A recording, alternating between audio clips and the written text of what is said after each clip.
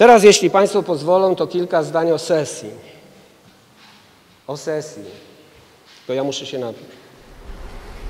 No właśnie, jak pan burmistrz przyjął e, brak zaufania i brak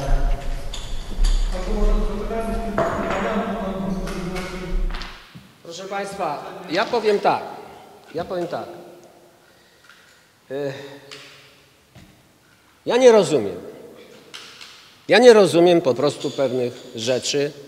I o tym już mówiłem e, w czasie sesji, ale ponieważ sesja trwała z 7 godzin i nie wyobrażam sobie, że ludzie będą 7 godzin oglądali tę sesję, to powiem teraz tutaj tak w skrócie. Nie rozumiem e, e, zachowania radnych, gdy z jednej strony aprobują raport o stanie gminy, bo dyskusja o raporcie była rzetelna, konkretna i nie było tam wielu zarzutów do tego raportu i dyskutanci byli też, e, bym powiedział, merytoryczni. I zaraz po tej dyskusji jest głosowanie nad wotum zaufania, które znowu się okazuje dla mnie mm, niekorzystne. Więc e, jeżeli radni uważają, że raport jest dobry, a głosują e, przeciwko wotum, no to ja tu widzę jakąś niekonsekwencję. Ale okej, mówię, ustawodawca jakiś czas temu rozdzielił dwie, dwie procedury. Procedurę wotum y, zaufania i procedurę absolutorium. Wotum zaufania ustalił jako taką procedurę oceny politycznej działalności burmistrza i to tak należy traktować. Natomiast absolutorium, przepraszam, powinno być traktowane jako czyste, czysta akceptacja działań związanych z budżetem, z finansami miasta. Więc o ile jeszcze jestem w stanie zrozumieć, że radni nie mają do mnie zaufania, bo ja się źle ubieram i, e, i na przykład e, no, nie włożyłem dziś krawata, to rozumiem, że radni mogą mnie tak ocenić y, na nie, bo to jest taka ocena polityczna. Natomiast gdy głosują, proszę Państwa, czy wstrzymują się od głosu w sprawie wykonania budżetu, gdzie mamy, uwaga, wszystkie opinie RIO o wykonaniu budżetu, wszystkie e, pozytywną opinię samej Komisji Rewizyjnej Rady, gdy mamy, i pani skarbnik już to wielokrotnie mówiła, cały czas rosnące wskaźniki, gdy do miasta są ściągane te pieniądze, o których Państwu mówiłem, gdy idą inwestycje, radni mówią również, e, jakby nie dajemy, nie dajemy absolutorium. Więc pytam się, o co chodzi radnym? O co chodzi radnym? To jest, proszę Państwa, nie tylko brak zaufania do mnie, do mojej działalności, i to też mówiłem w czasie sesji, to jest też brak zaufania do ludzi, którzy ze mną pracują, którzy ciągną ten naprawdę ciężki wózek. To jest też wotum e, e, nieufności w stosunku do dyrektorów placówek, do jednostek podległych, do urzędników ratusza. No i częściowo jest to jakby troszeczkę takie e, samouderzenie e, w radnych. No w radnych. Jeżeli, proszę Państwa, były czasy, gdy na całe inwestycje w ciągu roku planowaliśmy i wydawaliśmy milion złotych w poprzednich latach, a teraz wydajemy ponad 20 milionów co roku, no to, to, to, to ja nie widzę tutaj powodów, dla których mielibyśmy mówić, że coś się w mieście źle dzieje. Dlatego ja i Wydział Promocji i Wydział Inwestycji mówimy, co się dobrego w mieście dzieje. Nawet wysyłając te broszurki do ludzi, bo uważam, że taka jest rola burmistrza. Poinformować mieszkańców, co dobrego się wydarzyło. Oczywiście, gdy są złe sprawy, to też nie trzeba unikać, tylko też o nich mówić. Natomiast czy to jest propaganda sukcesu? No, Niech będzie propagandą sukcesu, ale ja bym chciał, żebyśmy jako miasto słynęli z sukcesu, a nie z porażek. Żebyśmy budowali domy, żebyśmy naprawiali drogi, żebyśmy poprawiali jeszcze stan naszych placówek, na przykład oświatowych, co do których niektórzy radni już nie mają zastrzeżeń, a ja jeszcze mam, chciałbym je jeszcze poprawić. Róbmy to, róbmy to wszystko, co poprawia komfort życia mieszkańców, ale nie kłóćmy się i nie spierajmy się o jakieś historie e, typu ten pan nam kiedyś coś powiedział, a tamten pan się na nas krzywo spojrzał. No ja proszę Państwa powiem tak, z tej całej sesji najbardziej jestem zbulwersowany jednym faktem. Odczytaniem anonimu, anonimu na sesji, czyli listu który rzekomo napisali dyrektorzy placówek, urażeni tym, że ja się do nich odezwałem w sprawie sprzątania ścieżki rowerowej. Jeszcze raz powiem, nie jest to dyshonor dla dyrektorów, gdy burmistrz im powie, że mają się włączyć w takie działania. Nikomu korona z głowy nie spadła z tych, łącznie ze mną, którzy przyszli na takie, e, e, na to sprzątanie. Jeżeli ktoś się poczuł urażony, mógł do mnie przyjść i mi wprost powiedzieć. Ale jeżeli nie chciał przyjść, a napisał list, bardzo proszę na przyszłość, żeby się podpisał. I jeżeli się podpisał, to go czytajmy na sesji, puśćmy go w mediach, róbmy co chcemy z tym listem, bo tam jest też odpowiedzialność za słowo. Ja jako wieloletni dziennikarz pod każdym ze swoich artykułów się podpisywałem. Pani redaktor poświadczy. I pan redaktor też. Więc brałem odpowiedzialność. Dzisiaj jako burmistrz biorę odpowiedzialność za każdy dokument, który podpisuję. Biorę odpowiedzialność. Panie burmistrzu, może I list do- się obawiali zwolnienia. List, list do dyrektorów placówek e, też podpisałem, tak? Ja piszę do dyrektorów, jeżeli dyrektorzy mają problem, do mnie z tym listem przychodzą. I dzisiaj, proszę Państwa, spotkałem się z panią y, przewodniczącą Majak i z panem przewodniczącym Bastą i zapytałem się, ile będziemy jeszcze czytać anonimów na sesji. Bo ja mam szufladę anonimów dotyczących y, pracy radnych. No i czy to jest metoda na y, rozmowy w czasie sesji, przy kamerach, przy transmisji na, y, na YouTubie? O tym mamy rozmawiać? Po prostu żenada. Żenada.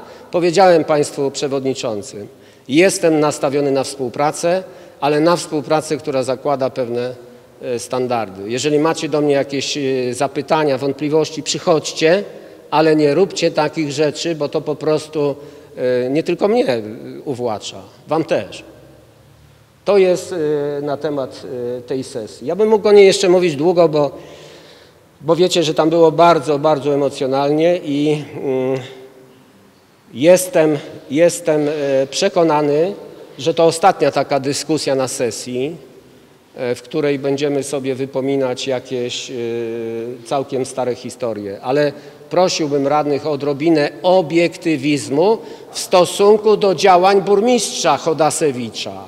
I bo jeżeli chcemy zwalczać Chodasewicza jako Chodasewicza, no to róbmy tam sobie różne takie, ale jesteśmy na sesji i na sesji rozmawiajmy o tym, co ja dobrego czy złego w mieście robię, ale rozmawiajmy o konkretach.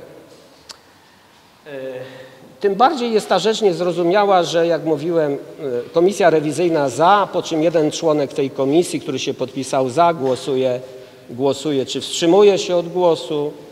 E, Ktoś tam znowu deklaruje, że, że wszystko mu się podoba i pan burmistrz tutaj walczy o obwodnicę, o coś tam jeszcze, jak ja pana cenię za to, że pan tak walczy, a potem przeciw albo wstrzymuje się. No.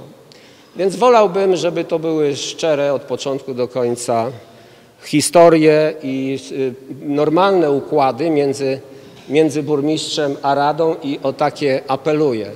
Powiem tutaj publicznie, mam nadzieję, że pani y, przewodnicząca zmieni styl, który wprowadził do rady pan Jarosz, a ponieważ y, to y, ten list, ten y, anonim odczytany na, na sesji nie nastraja mnie zbyt optymistycznie, więc jeszcze raz apeluję, żebyśmy się do takich działań w czasie naszej pracy, na którą patrzą mieszkańcy, nie uciekali.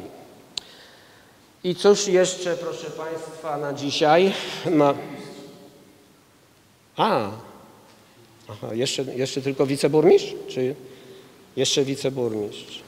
Już mówię, ale jeszcze chciałem zobaczyć e, na ściągę. Co ja tu jeszcze mam?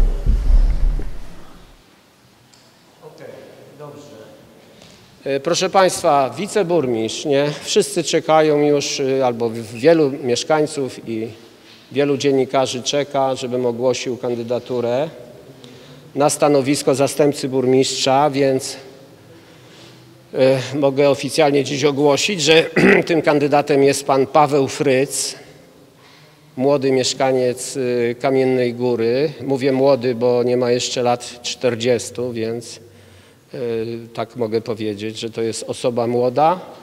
To jest, to jest osoba, która prowadziła do tej pory własną działalność gospodarczą, związana z, z, z rynkiem bankowości, finansów, ubezpieczeń, pozyskiwania środków unijnych i nie tylko unijnych. Wobec tego tymi głównie zadaniami będzie się pan Paweł zajmował w ratuszu, czyli jeszcze bardziej intensyfikował pozyskiwanie środków zewnętrznych. Najprawdopodobniej w związku z tym, że musi swoją działalność zamknąć, najprawdopodobniej podejmie pracę 1 września, czyli jeszcze co najmniej przez miesiąc będę w ratuszu, y, jak to się mówi popularnie, sam, no bo y, sekretarz przyjdzie 1 sierpnia, a jak mówię, zastępca prawdopodobnie 1 września. Co o tym zdecydowało? Bo na giełdzie nazwisk pojawiały się no, różne, Różne. nazwiska, w tym pani e, minister Machałek przedstawiła czterech kandydatów. Co zdecydowało, czy to burmistrz zdecydował, co zdecydowało o tym, że to jest pan Fryc? No, proszę Państwa, zdecydowały oczywiście zalety kandydata, to po pierwsze. Ja oceniam je wysoko. E, Druga rzecz, y, bo to pewnie Państwa interesuje, czy e, w jakiś sposób PiS tę kandydaturę akceptuje, czy kontestuje. Otóż y, rozmawiałem z panią minister na ten temat, rozmawiałem też na temat innych kandydatów i e, no, niemalże od początku mówiłem, że e, spośród tych kandydatów zgłaszanych przez, przez PiS raczej, raczej wśród tych kandydatów, mając na względzie innego kandydata, że raczej nie przewiduje powołania z tego grona nikogo. I pani minister o tym wiedziała i też wiedziała, jaki jest mój kandydat. No i ostatecznie, ponieważ obiecałem i państwu, i, i sobie, że już nie będę przeciągał tego tematu, e, podaję dzisiaj właśnie nazwisko pana Fryca jako kandydata na zastępcę. Czy to znaczy, że zastępca nie będzie odpowiedzialny za oświatę? Bo przeważnie tak było, że zastępca burmistrza odpowiadał za oświatę w naszym mieście. Proszę Państwa, będziemy przeredagowywać ten nasz y, zakres kompetencji, ten nasz schemat organizacyjny. Zobaczymy, jak to się poukłada po przyjściu właśnie zastępcy i sekretarza, który też ma duże doświadczenie, gdy chodzi o inwestowanie. Jak Państwo widzą, ja nawet ja, ja duży nacisk na to kładę, nawet się zastanawiam, czy nie za duży, czy to nie będzie kosztem zaniedbania innych y, dziedzin, ale y, uważam, że to jest y, ruch we właściwą stronę, przynajmniej na tym etapie, na jakim dzisiaj jest Kamienna Góra. Myślę, że jak dostanie jeszcze oświatę, to wcale się nie przemęczy, więc ja nie widzę tutaj sytuacji, w której będzie zajmował się tylko pozyskiwaniem środków. Na pewno dostanie też zadania, które dotychczas wykonywał też zastępca Adam, Adam Blicharski. Coś jeszcze Państwa interesuje? Ja jeszcze powiem, jeśli mogę, bo pytanie nie padło, ale ja to muszę powiedzieć. To, że pan y, Paweł Fryc będzie moim zastępcą, nie oznacza, że my zrywamy współpracę z PiSem, że ja w jakikolwiek sposób zrywam współpracę z panią minister. Cały czas ja i pani minister, i to mogę Państwa zapewnić, możecie też sprawdzić dzwoniąc do niej, jesteśmy otwarci na dalszą dobrą współpracę, a ta współpraca przynosi miastu konkretne korzyści. A były jakieś rozmowy między panem a panią minister? Tak, oczywiście, oczywiście. Myśmy rozmawiali, rozmawialiśmy. Także to nie jest tak, że z jednej strony ktoś mówi, e, PiS ma swojego kandydata i burmistrz musi tylko klepnąć, a z drugiej burmistrz mówi, ja mam swojego i żadnych innych. Nie, rozważaliśmy różne, różne naprawdę kandydatury i ostatecznie e, stanęło na tym już, o czym mówię, ale cały czas podkreślam, współpraca będzie, i będzie, mam nadzieję, owocna, tak jak, tak jak jest owocna do dzisiaj. A pani minister została poinformowana już o wyborze? Tak jest wczoraj. Tak jest. Myślisz?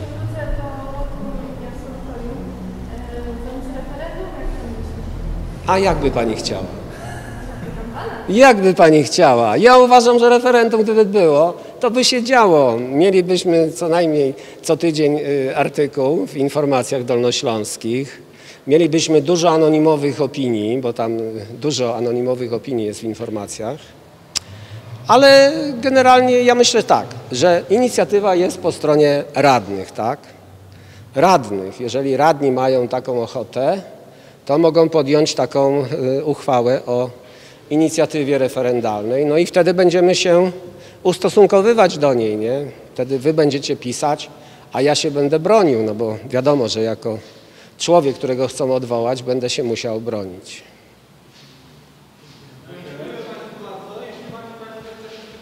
Do szefów. Dziękuję bardzo.